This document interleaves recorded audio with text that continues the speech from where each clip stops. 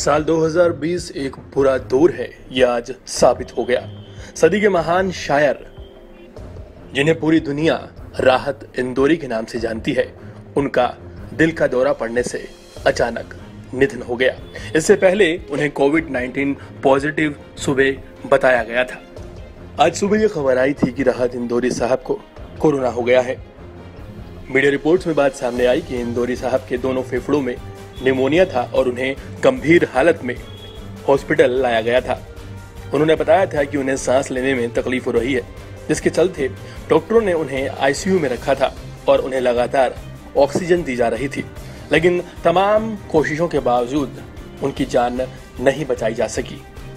राहत इंदौरी के बेटे ने सुबह ये जानकारी दी थी कि वो कोविड 19 पॉजिटिव पाए गए हैं। राहत इंदौरी साहब एक अच्छे शायर और एक चित्रकार भी थे और साथ साथ वो उर्दू के प्रोफेसर भी थे। उन्होंने हिंदी फ़िल्मों को कई बहुत बेहतरीन गीत दिए हैं। साथ ही साथ उनके कई ऐसे शेर हैं जो बच्चे बच्चे की ज़ुबान पर हैं। महान शायरों की अगर बात की जाए तो गालिब, मीर और दाग के बाद राहत इंदौरी का नाम बड़े ही अदब से लिया जाता है। वहीं आज ना सिर्फ़ भारत को, बल्कि पूरी दुनिया को एक ऐसा नुकसान हुआ है जिसकी भरपाई ना हो सकेगी। एक महान शायर को इस दुनिया ने आज खो दिया है। राहत इंदौरी साहब को अर्पण न्यूज़ की तरफ़ से हम श्रद्धांजलि देते हैं।